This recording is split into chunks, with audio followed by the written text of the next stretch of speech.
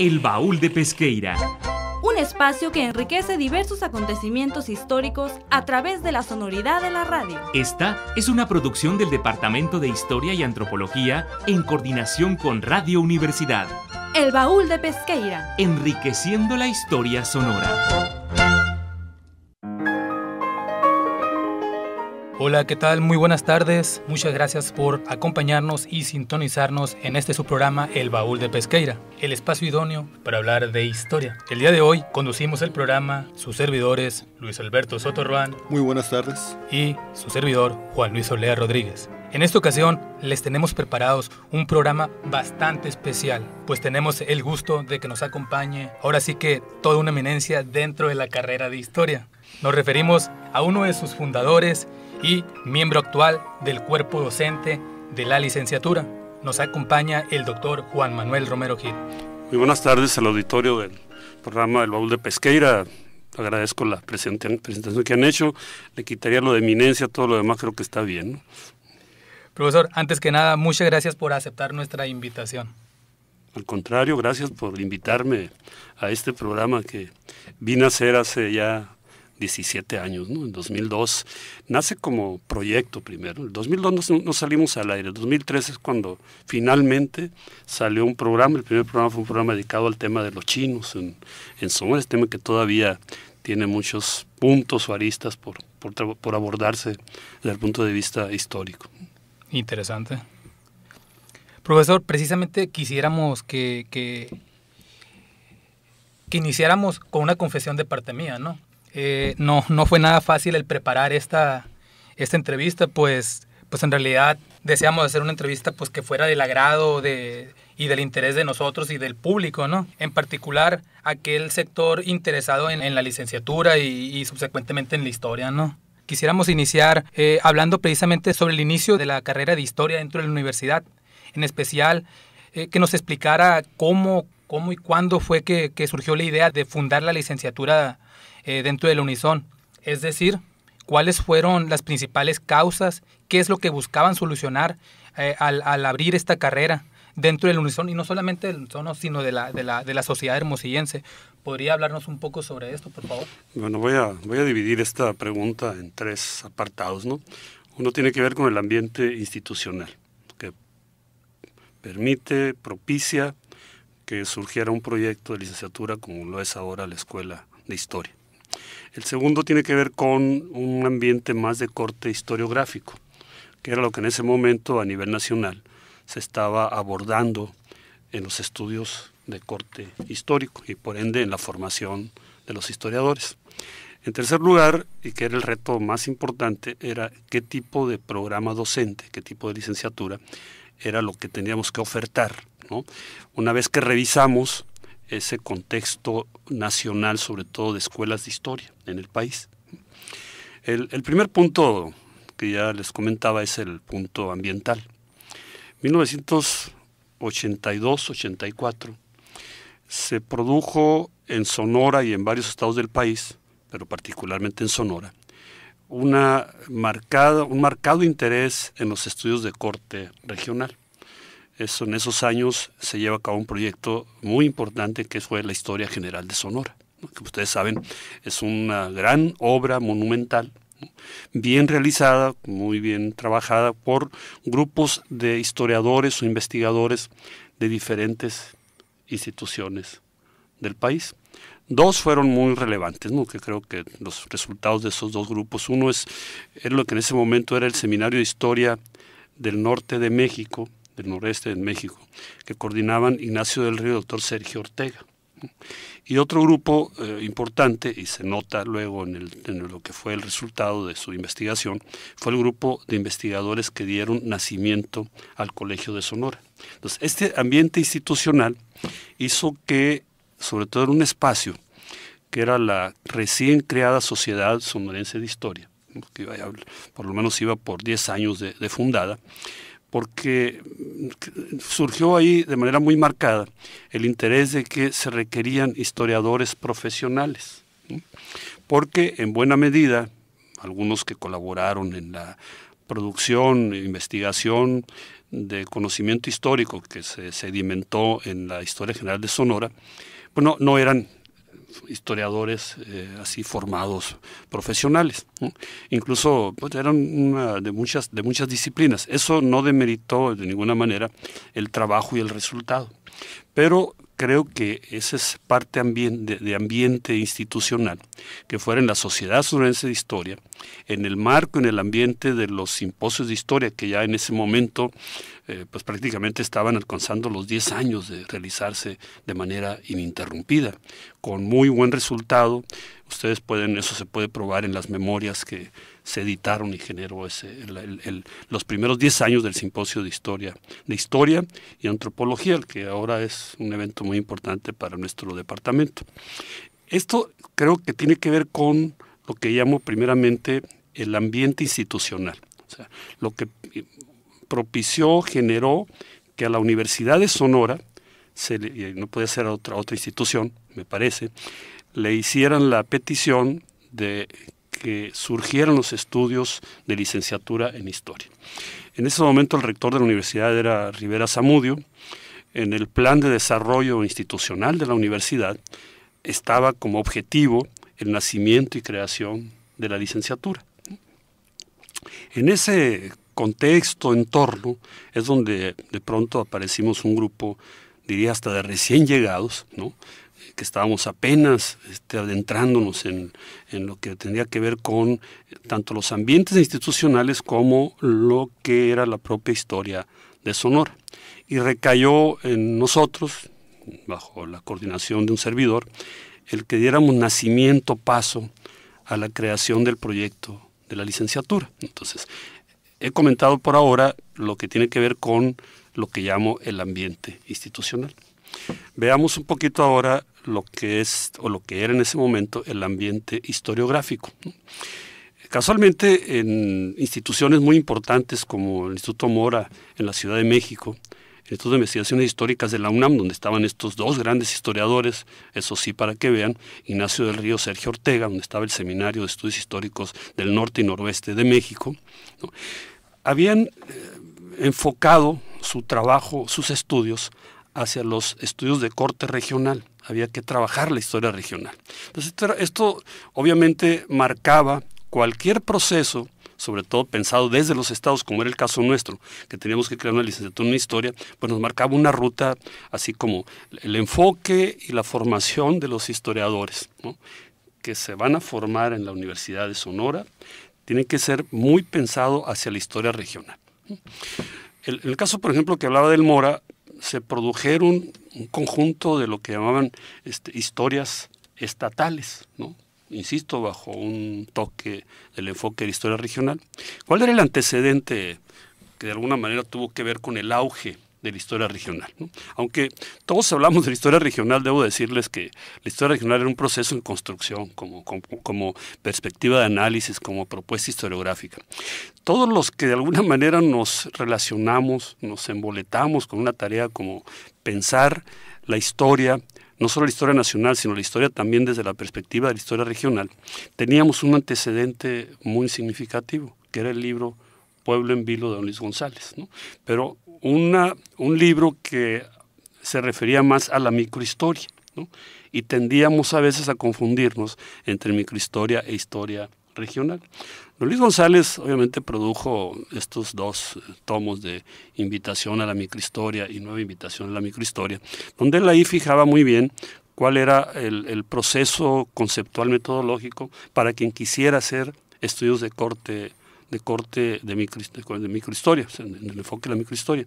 Entonces, estos antecedentes eran como muy importantes a la hora de pensar qué tipo de proyecto teníamos que trabajar, llevar a las instancias colegiadas, sobre todo al Consejo Universitario, era la, era la máxima autoridad en ese tiempo en la universidad, estoy hablando de 1986. Estoy hablando de 1986. 1986-87 fue un trabajo de gabinete muy intenso. Revisamos todos los planes de estudios que había en el país, revisamos algunos que eran de corte estatal, pero entonces venía el tercer campo, que es el que yo les anuncié. Hablaba del institucional, hablaba luego del ambiente historiográfico así de manera general, y luego hablaba de lo que debía ser ya el propio proyecto de licenciatura en la Universidad de Sonora. ¿Qué características tenía? Primero, pues partía de un horizonte que era el de la historiografía de corte regional. Teníamos que pensar muy bien nuestra propuesta. Entonces, ¿qué toque fino o qué cualidad o qué aspecto tendríamos que marcar nosotros para un proyecto que no podía ser el mismo, digamos, que se impartía en Michoacán, por poner un ejemplo, en cualquier otro estado del país. Tenía que tener algunas particularidades, porque de se trata. La historia regional es reconocer las particularidades de espacios social, sociohistóricos que han, digamos, eh, tenido sus propias dinámicas de desarrollo histórico-social. Entonces, habría que, por ejemplo, pensar en algo que era muy importante. Vamos a crear una licenciatura en historia en una zona que tiene una frontera muy cercana con los Estados Unidos. Y entonces fue el primer programa de licenciatura en el país, y lo puedo decir con toda seguridad, que, por ejemplo, incorporó, si bien, si ustedes quieren, a lo mejor limitado, incorporó dos materias que tenían que abordar los estudios de corte histórico sobre la relación México-Estados Unidos. Esa fue una, esa era, para empezar, ya era un toque importante en el proyecto de la licenciatura. El segundo aspecto, que era como, ahora sí que como siempre dijimos, era como el burro que tocó la flauta, era que, y eso estaba apenas en pañales, agregamos, por ejemplo, la materia de computación, ¿no? Ahora ustedes pueden ver que son las famosas CENTIC, ¿no? Estas de las nuevas tecnologías, ¿no?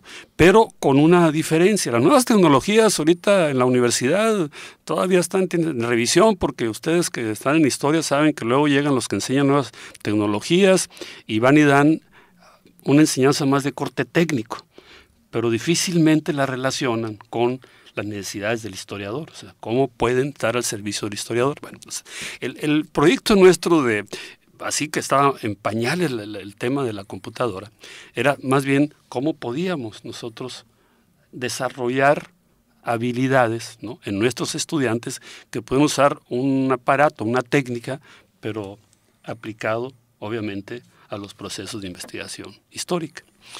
Otro elemento que me parece que fue muy importante era el asunto de las matemáticas. No podíamos tampoco sacar la vuelta a las matemáticas. Pero nosotros dijimos, bueno, a ver, pero ¿qué tipo de matemática nos interesa?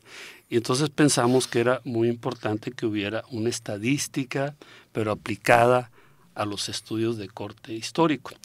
Esto visto desde la historia en esos años era lo que ahora se conoce como historia cuantitativa, que habían desarrollado mucho los franceses, por cierto. la escuela más eh, que había pensado mucho en historia cuantitativa en esos años era sobre todo la escuela francesa. Y este era entonces otro, otro de los retos. ¿no? Sea, ah, bueno, pues entrémosle ahora a la estadística histórica. Ahora genéricamente se llama estadística descriptiva, pero en realidad lo que se les enseña es ah, estadística aplicada para abordar estudios, por ejemplo, de corte demográfico, primordialmente, ¿no? Primordialmente. Entonces, eso ya era una ganancia, estamos demarcando que esta era una característica del plan de estudios. Un cuarto aspecto que nadie lo tiene hasta ahora, y puedo presumir de eso, nadie lo tiene, fue el único programa de licenciatura que propuso que los estudiantes podían llevar en un paquete bastante amplio de materias opcionales. Estuvieran donde estuvieran. Si tú, por ejemplo, que estabas eh, estudiando, qué sé yo, un fenómeno que tenía que ver con un estudio histórico, por ejemplo, sobre la radio, ¿no? pues tú pudieras tomar algunas materias en comunicación porque considerabas que esa materia te iba a agregar contenido, conocimiento para poder hacer tu investigación. Eso sonó muy bonito, ¿no? lo planteamos muy bonito, además éramos los primeros que estábamos realmente planteando un plan de estudios con un enfoque interdisciplinario. El estudiante iba a tomar materias opcionales. Pero nos dimos de topes porque cuando los estudiantes de pronto encontraron que había materias que podían cursar en otra licenciatura, se dieron cuenta de dos cosas. Primero, que había un problema de corte administrativo, que era un broncón realmente poderse primero imprimir en las materias que ellos querían escoger. En segundo lugar, nos dimos cuenta que muchas materias no se abrían, no se ofertaban en las licenciaturas. No obstante eso, y ustedes lo pueden ver ahora porque ustedes llevan opcionales, seguimos siendo voy a pensar en la división de ciencias sociales y no quiero a lo mejor exagerar que pueda ocurrir en otras divisiones, los estudiantes de historia pueden ser los únicos estudiantes que sí tienen manera de llevar opcionales en otras licenciaturas. En, la división de ciencias sociales, voy a pensar en esta división, de la que por cierto fui director en el 93-97. Voy a pensar en la división de sociales, y, luché mucho contra eso, pero no pude hacer nada. En la división de sociales, incluso, por ejemplo, departamentos como psicología y ciencia de la comunicación. La comunicación, psicología, no tienen ninguna materia, ninguna materia que pueda ser compartida desde el punto de vista curricular. Entonces, esos eran como los grandes retos que teníamos, pero venían muy importantes. ¿no? pues sí, eso está muy bonito como proyecto curricular. ¿no? Ahora díganme, ¿con quiénes lo vamos a echar a andar? ¿Con quiénes? En ese momento, realmente en el, ámbito de Sonora y muy particularmente de Hermosillo, había muy pocos historiadores. o incluso gente con experiencia. Yo, me acuerdo de cuando pusimos a consideración de expertos que realizaron el, programa de estudios, este, nos dijeron, oye, ¿por qué no estudios de Asia y África?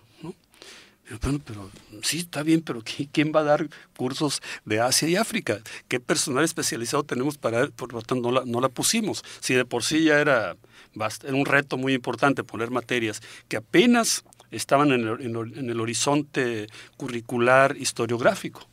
Entonces, esos son, digamos, muy sucintamente, tres grandes escenarios que están relacionados con la licenciatura en historia en su primera en su primera etapa. Bueno, lo otro era también, obviamente, tomar estos cursos, empezar a trabajar con más profundidad los cursos sobre, sobre la historia de Sonora, desde el Sonora prehispánico hasta el Sonora contemporáneo. Eh, profesor, bastante interesante, ¿no? Esta, esta, esta explicación que nos dio por cómo fue que, se fundó la, los objetivos, eh, cuáles eran las razones por las que se fundó la carrera de, historia, ¿no? Entre el Unison. Ya encaminados en esta cuestión, nos gustaría que nos, que nos explicara eh, esta cuestión del, del, nuevo programa de estudios que va a haber, porque evidentemente sabemos que ha habido eh, dos, ¿no? Eh, en esta ocasión vamos a entrar por el tercero. Nos gustaría que nos hablara un poco sobre, sobre esta, estos nuevos retos de la, del, del tercer programa, ¿no? ¿En qué consiste? ¿Cuáles son los objetivos? Déjame nomás, muy bien, Juan déjame hacer una pequeña pausa para conectar con tu pregunta.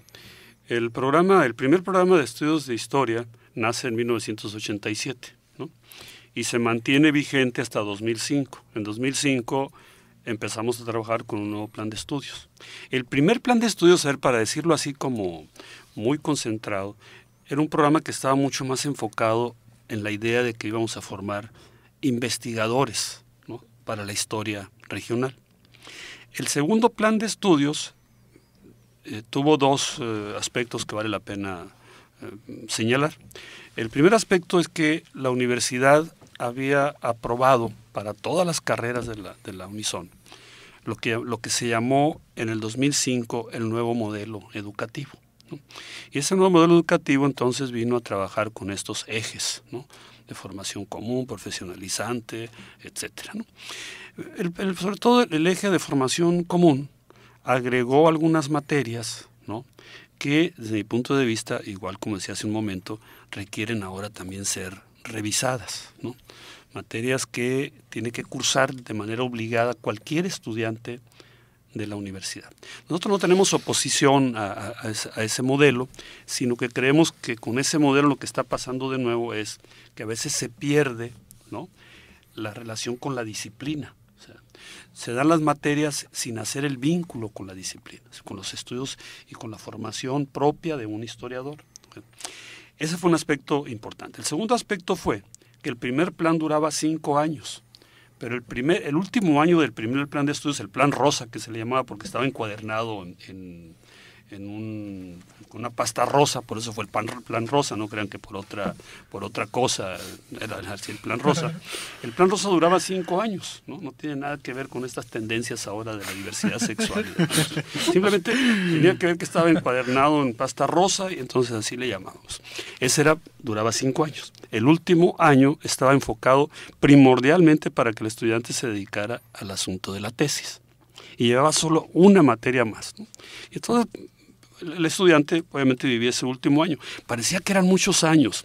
Ahora extrañamos el plan Rosa en sus cinco años, porque ahora estamos trabajando sobre cuatro años. Fue el, segundo cambio que vino con el segundo plan de estudios.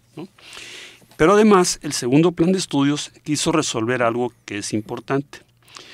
¿Por qué no pensar en formar un historiador que pueda tener elementos para desempeñarse en tres campos profesionales, muy genéricos, el de investigación, el de docencia y el de difusión.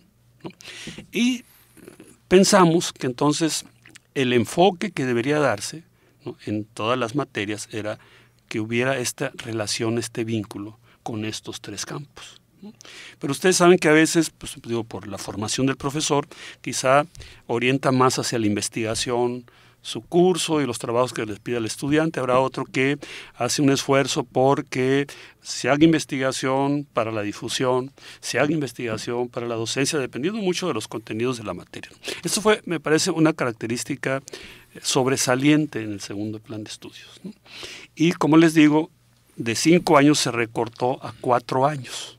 A cuatro años. de tal suerte que eh, los estudiantes sienten que a veces el tiempo les pasa rápido. ¿no? Caso de ustedes dos, por ejemplo, que ya están prácticamente terminando la, licenciatura. ¿no? Eh, este, a diferencia de los que trabajaban un plan de estudios, cursaban cinco años la licenciatura. hasta ahí estamos, digamos que en, en, el segundo plan de estudios. ¿Viene un tercer plan de estudios? Sí. ¿Cuándo va a estar ofertado a los estudiantes? Muy probablemente esté en un año. Se formó una comisión que encabeza el profesor Irán Félix. Están colaborando con él el doctor Daniel Kent Carrasco. Están colaborando también en esa comisión Héctor Vega de Loya. Está el profesor Dante Alcántara. Se está primero un pool, digamos, de estos profesores que voy a llamar así como los profesores del relevo generacional.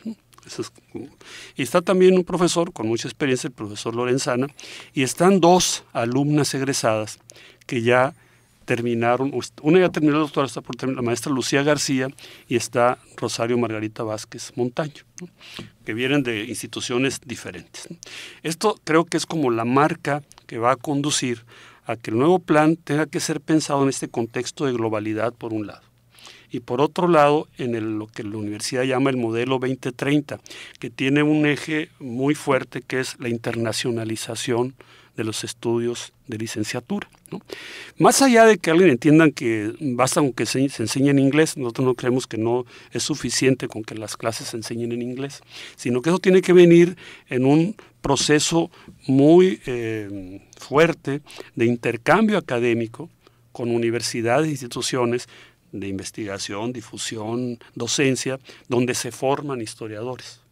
Y además me parece que debe ser un historiador más como multifuncional, una formación mucho más instrumental que de veras el estudiante, por ejemplo, logre tener muy bien la herramienta de la lectoescritura, que es un problema hoy día. saber leer, saber escribir es uno de los grandes lastres que tienen nuestros estudiantes, los que recibe la universidad, y a veces en cuatro años es muy, corto el tiempo para que realmente puedan afinar. Tenemos que meterle mucho a eso, mucho a eso. Yo insisto mucho en, en las clases que doy, en el seminario que imparto, insisto muchísimo. Si tenemos problemas con la lectoescritura, vamos a tener problemas realmente para exponer con claridad nuestras ideas, nuestro pensamiento. Pero también debe ser muy instrumental, deben estar muy al día en todos estos sistemas digamos, eh, digitales, toda esta parte que tiene que ver con esta revolución científica, donde ahora es imposible vivir sin las redes, ¿no? sin el Internet, pero, pero eso también implica un conocimiento técnico. Entonces yo creo que va a ser muy orientado a tener un historiador que también pueda ser un, el que egrese, que esté apto, si es para la investigación, la investigación, la docencia, la difusión, la museografía, que es un campo que ahora me parece que también se va a explorar, y por otra parte también lo que tiene que ver con ese historiador que es curador, ¿no? En los procesos, en los archivos, en bibliotecas, donde pueden jugar un rol muy importante. Entonces ustedes pueden darse cuenta que esto va, va el nuevo plan tendrá que eh, darse o organizarse en función de estos grandes retos. Eso me parece que es donde tienen que trabajar la comisión. Son las directrices que se le está dando a la nueva a la nueva comisión. De tal suerte que yo me imagino a un historiador así Robocop, ¿no? que sabe un poco de todo, que puede moverse en cualquier ambiente, un historiador todo terreno, ¿no? todo terreno, que igual puede estar en un archivo, puede dar clases, puede estar organizando un museo, puede hacerse cargo de la, de la campaña de difundir la historia de un pequeño lugar o de una empresa. O entonces, ese creo que es el historiador que me parece que tenemos que apostarle. Y en esto van a jugar un rol muy importante lo que yo llamo los profesores, los profesores nuevos, los profesores de nueva generación, que ya están llegando. Doctor, ya entrando en este tema del tercer programa que se viene para la carrera del, del en Historia, pues yo creo que puede ser un poquito anticipado, pero usted como el fundador de esta carrera, si nos podría comentar cuáles podrían ser los aspectos positivos y negativos de este nuevo programa, tercer programa es difícil este, tener, digamos, una esfera mágica, ¿no? Donde yo pudiera predecir el, futuro, ¿no? O sea, no, ojalá, ojalá pudiera hacerlo, ¿no? Los historiadores no podemos predecir el futuro, no, no somos oráculos, ¿no? Pero yo creo que por lo menos me parece que algo que es sumamente importante y que tiene que eh, trabajarse mucho esto esta formación inicial del estudiante. Creo que tenemos que reforzar mucho más los primeros semestres con ya un enfoque, como yo llamo, instrumental en el sentido de que puedan el estudiante ya tener un ejercicio práctico muy fuerte con los, con los áreas y los campos de conocimiento donde se requiere de cierto método, cierta técnica, ¿no? para poder, como ya decía, ir pensando en los ir pensando cómo se va a relacionar con los campos profesionales, ¿no? que ahora la intención es saber con un sentido de oportunidad aprovechar estos campos que todavía están vírgenes para el historiador. Yo creo que lo que me parece todo ese sentido, sentido negativo, puede ser que encontremos resistencia, ¿no? sea, tanto en los estudiantes, no, no, yo creo que no me atrevo a pensarlo tanto en los profesores. Creo que el nuevo plan de estudios se va a encontrar ya con un proceso de relevo generacional. Ya nos estamos yendo los profesores que tenemos ya 34, 35 años en, en la universidad. Ya hay procesos eh, de jubilación avanzados que van a permitir o posibilitar que lleguen estos nuevos profesores que si son, como yo digo, con un perfil más, como uso esa palabra yo así, de, de, de, Robocop, todo terreno, multifuncional, que sabe moverse tanto en el ámbito, estos virtuales, estos virtuales, estas plataformas virtuales, eh, ser mucho más interactivo, ¿no? porque la etapa que viene ya no es la etapa pasiva del estudiante, o sea, el estudiante está muy acostumbrado y uno lo experimenta a la clase, a la clase formal, tradicional. ¿no?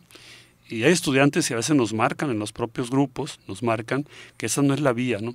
que, el estudiante tiene que ser eh, lo que se conoce como la, construcción del conocimiento, el constructivismo, la construcción del conocimiento.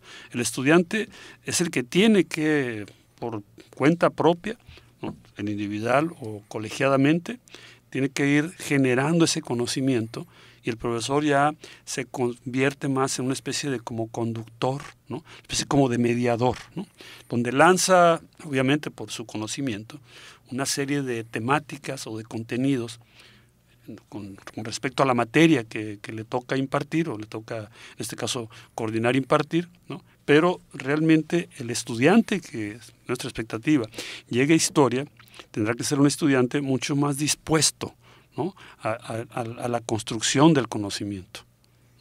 Eso creo que es un, elemento importante. Es difícil a veces eh, poderla, sinceramente, poder predecir, poder marcar cuáles serían los aspectos este, negativos. ¿no? Más bien pensemos en los retos. Yo creo que es importante pensar en los retos. Los historiadores podemos pensar en las tendencias, pero es muy difícil que los historiadores nunca adivinamos el futuro. Y me parece que, que pensar que así es estamos equivocados de, origen. Y ya que estamos en el tema de la renovación en la carrera de historia, evidentemente todos los que pertenecemos actualmente a la licenciatura de historia, pues sabemos que este año 2019 es un año muy importante para el departamento de historia también. Me refiero a la apertura de la licenciatura en antropología y la maestría en la enseñanza de la historia también. Eh, ¿Sí podría platicarnos un poquito de estos proyectos para el departamento? Bueno, voy a empezar primero por lo que digamos va a ser un tiempo compartido, que es de la licenciatura de antropología. Antropología inicia actividades en agosto, ya está debidamente planeado el primer semestre. Vamos a iniciar con un grupo de 35 estudiantes, los cuales pues de esos 20 están muy convencidos de que quieren ser antropólogos. Y eh, el programa tiene un proceso híbrido con historia. el estudiante de antropología, los primeros tres semestres, va, va, a compartir, uno por el modelo educativo que es obligado, que ética, que este, aprender a aprender, que nuevas tecnologías, que comunicación oral y escrita, introducción a las ciencias sociales, que también llevan los historiadores con la salvedad que introducción a las ciencias sociales va a ser introducción a los estudios de corte antropológico. Eh, este proyecto híbrido va a permitir que haya contacto, por lo menos curricular, de contenidos con los jóvenes que van a entrar a historia, que por cierto, hacía muchísimo tiempo que no teníamos una inscripción de estudiantes que vienen a historia donde los 40 dijeron, quiero estudiar historia. Eso no, no ocurría. Ocurría siempre que 25, 28 ¿no? escogían estudiar historia y lo demás se complementaba, la lista se complementaba con este, alumnos que venían a cursar el tronco común, que luego no se quedaban con, en historia, migraban a otras licenciaturas. Era raro el que, se quedaba y se convencía a partir del tronco de formación común de estudiar historia. Esta vez la característica es la que ya estaba narrando. Entonces tenemos estudios de corte antropológico que obviamente en su currícula de orden general están muy enfocados hacia la antropología cultural, hacia la antropología obviamente ambiental, ¿no? y hacia la antropología que tiene que ver con los estudios de corte fronterizo, donde por ejemplo el tema de la migración, el tema de los grupos, ¿no? que están siempre en tránsito, en movimiento, y que luego obviamente a veces hay presencia en el propio Estado, ¿no? porque se han quedado en el Estado. Esos, fenómenos antropológicos que son propios de este, digamos, tiempo de globalidad en el que ahora estamos inmersos, que ha generado también, como sabemos, un conjunto de contradicciones a la par, porque no ha sido igual para todos los países y el mismo impacto, digamos, positivo. Y eso significa que estemos encontrando esta expulsión ¿no? de, de movimientos de población, en el caso latinoamericano, que pasan por México y pasan de manera importante por la frontera común que tenemos entre Sonora y Arizona. Entonces, estas características, digamos, que marcan primordialmente los estudios de corte antropológico. Y luego hay otro que también que tiene que ver con los peritajes. Por ejemplo, se requieren antropólogos cuando se ha decidido una obra, te puedo pensar en algo así de donde va a haber una termoeléctrica, ¿no? y va a tener un impacto social hacia las comunidades, se requieren peritajes de corte antropológico. Igual cuando se decide, por ejemplo, que se va a construir una presa, que casi siempre está ligada, por cierto, a, proyectos de, termoeléctrica, pues ahí el papel del antropólogo va a ser fundamental, central. Y está el otro, Sonora, ustedes saben, Sonora tiene una presencia de, grupos o naciones indígenas muy relevante, ¿no? con sobre todo muy fuerte la presencia de yaquis y mayos. ¿no? Eso, eso, también hace ver que es el enfoque de, de, la Escuela de Antropología. Empezamos en agosto, el 12 de agosto, como van a empezar los, los estudios también de los que van a estudiar historia con nosotros. Y está el otro proyecto, que es el proyecto de enseñanza de la historia, que es de corte profesionalizante, y que este proyecto mm, va a ser propuesto al CONACIT a ver si podemos eh, creemos que tenemos las condiciones de entrar a lo que se llama el PNPC, o sea, el Programa Nacional de Calidad, de Posgrados de Calidad, que son apoyados con el CONACID mediante becas. Y de lo que se trata es, sobre todo, es una oferta que está pensada hacia los profesores que hoy día imparten historia en el nivel de enseñanza media y superior. Muchos de los profesores que imparten historia no estudiaron historia, no estudiaron historia. Entonces lo pueden ver a nivel de bachillerato, ustedes no tendrán la experiencia, muchos profesores no estudian historia. Ahora tenemos ya presencia, por ejemplo, en colegio de bachilleres, de por lo menos más de 15 egresados nuestros, que está resultando muy exitosa la presencia de ellos en la enseñanza de la historia. Entonces, ahí son, son, son digamos, dos propuestas curriculares distintas, La, primera es sobre todo, está, es una propuesta donde para jóvenes que se quieren formar en los estudios de corte antropológico y la otra es para formar o terminar de formar profesores que ahora se desempeñan en los diferentes niveles de la educación media superior y que han tenido la responsabilidad de enseñar historia. Profesor, eh, nada más para, para recordar, ¿no? Eh, la maestría en enseñanza de historia ya inicia en agosto. No, no. No, la maestría en ciencias de la historia es todo un proyecto que está ahorita discutiendo. Se, arranca en enero del 2020 o bien se traslada hasta agosto de 2020. ¿De qué, está, de, qué está dependiendo? Va a depender muchísimo de la convocatoria CONACID, que es la que estamos esperando.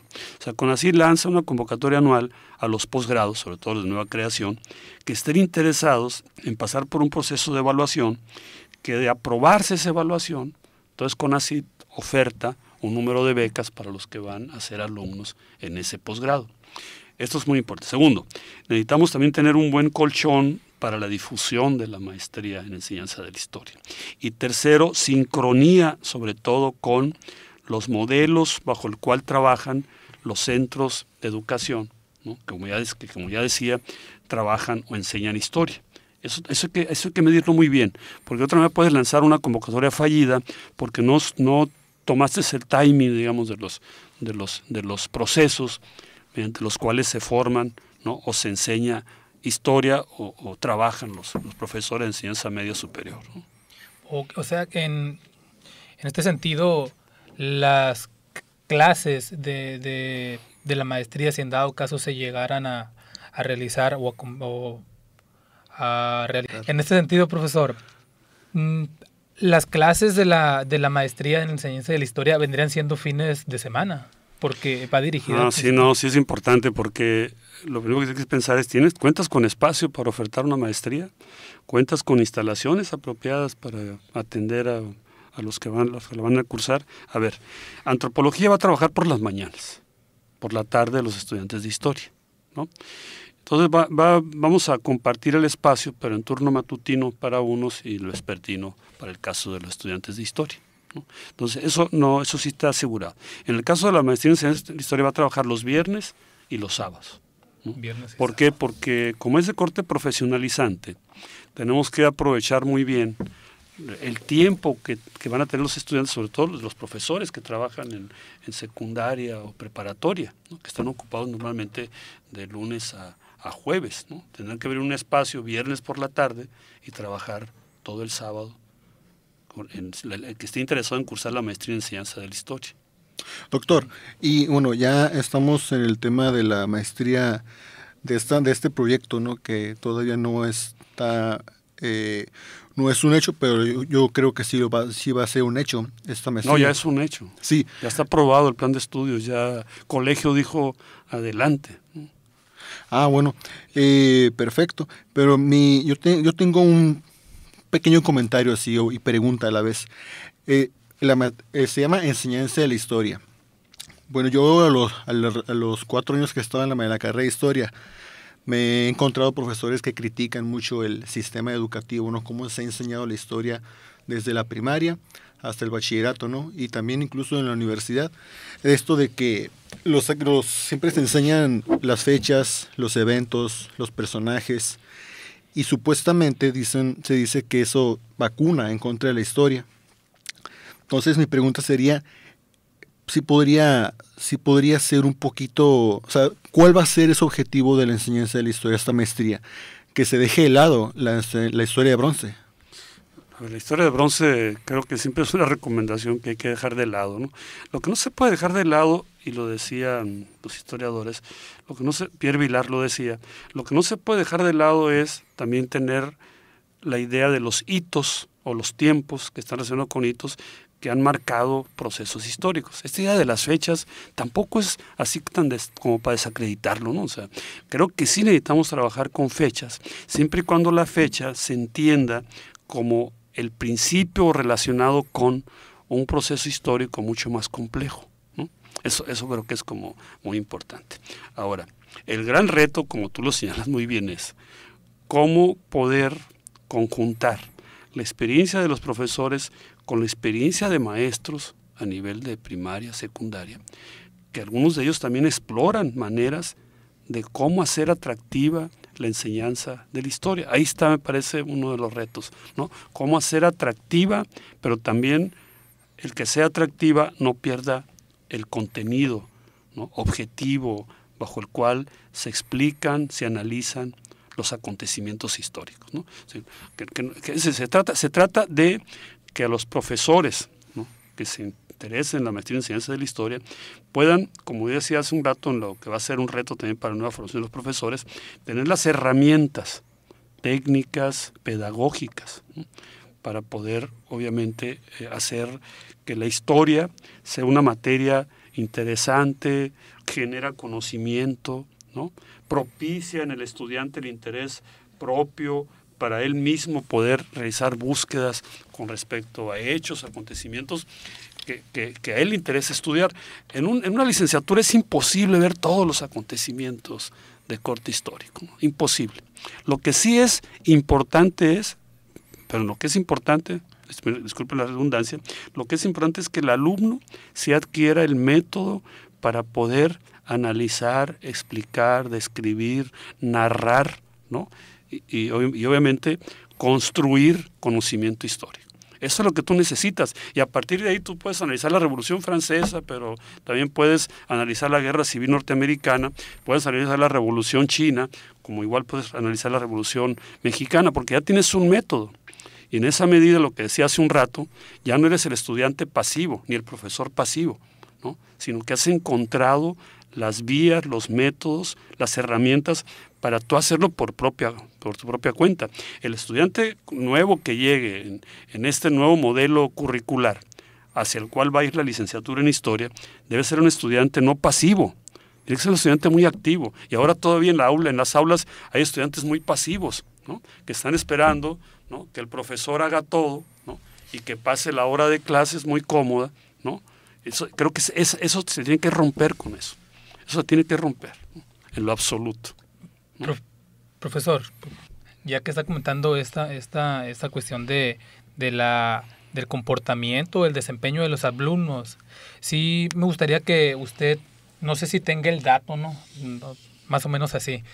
Eh, yo en la experiencia que tengo eh, charlando, platicando con compañeros de la carrera, me encuentro pues a bastantes, eh, bastantes compañeros que le sacan a la tesis, ¿no? Le sacan a la tesis.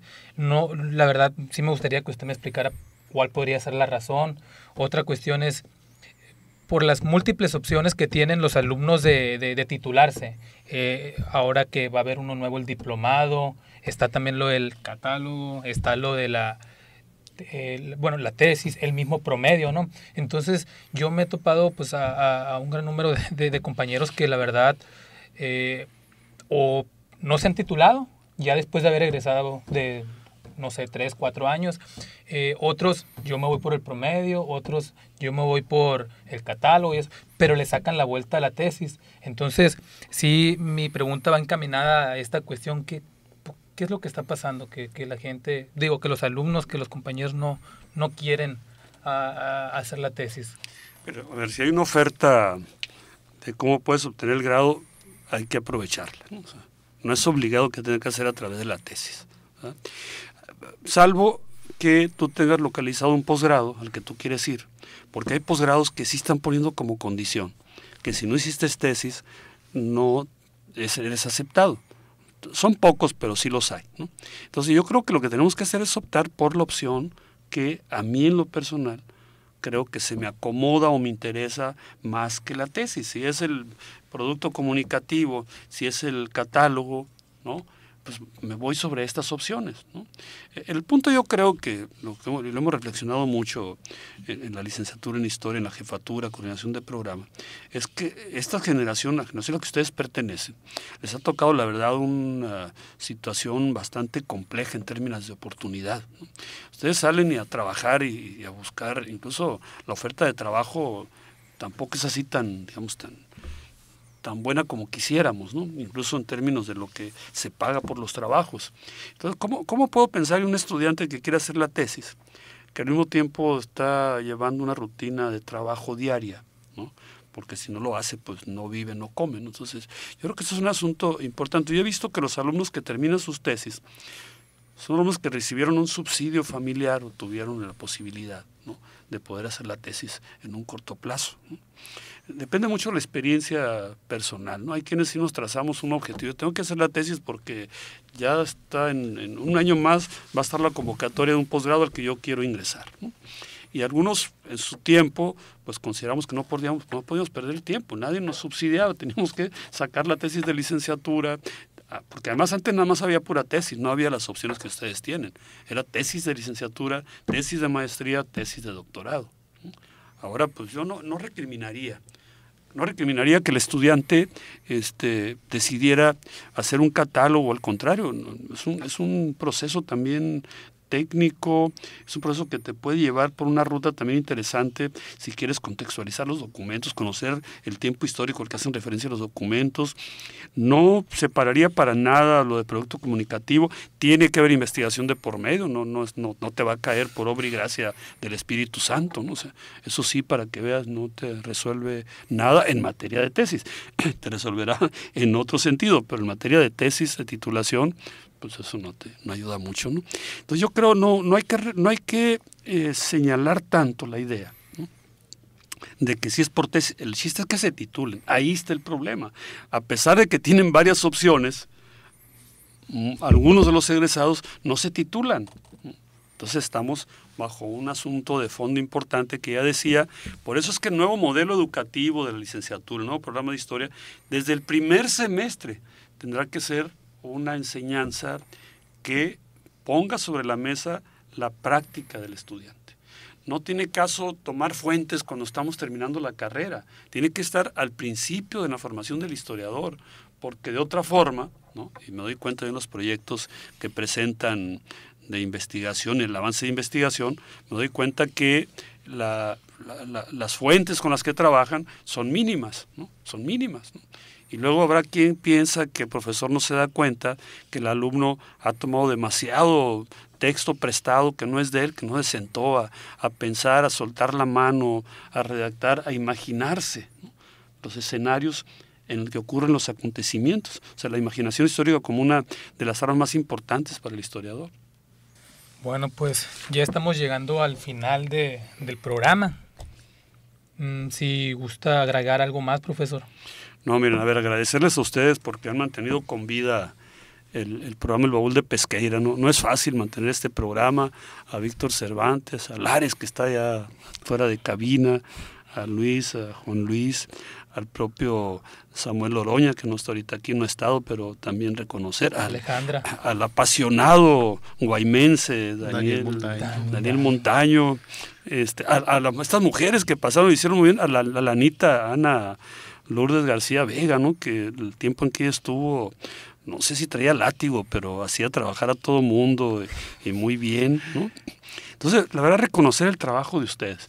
Fíjense, cuando nos hacen evaluación, esto, el baúl de Pesqueira, es un programa hecho por estudiantes. Antes yo metía más eh, la mano, a lo mejor la pata, con respecto al programa El baúl de Pesqueira, porque los primeros, ¿qué dirá? Los primeros ocho años del programa cada martes nos reuníamos y revisábamos las matrices, los contenidos, las materias, pero llegó un momento en el que es muy importante que ya es un proyecto autorregulado, ya es un proyecto de los estudiantes.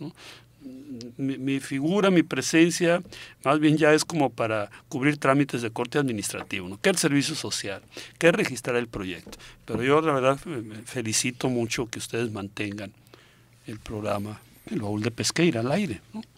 Estamos ya sobre los 2002, estamos ya sobre los, 17 años. 17 años de, programa del baúl. Bueno, pues sin más que agregar, no queda más que agradecerle, profesor, que nos haya acompañado en esta, en esta ocasión y pues sobre todo por la información que, nos acaba de, de, brindar, ¿no? Esperamos sinceramente que más adelante pues nos vuelva a acompañar y pues ahora sí que tocar otros temas que se quedaron ahí en el tintero, ¿no? Está bien, pues este, yo prefiero estar tras bambalinas, ¿no? Haber creado el programa hace 17 años.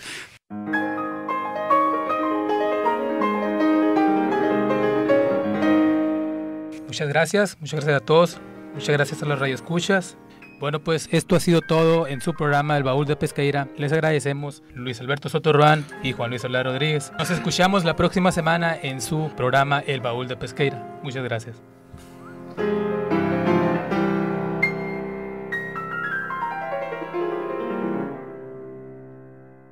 Por hoy, el baúl de Pesqueira ha cerrado un programa más. Te invitamos a escuchar un encuentro entre el pasado y el presente de Sonora en la próxima emisión. Esta fue una producción del Departamento de Historia y Antropología en coordinación con Radio Universidad. El baúl de Pesqueira. Enriqueciendo la historia sonora.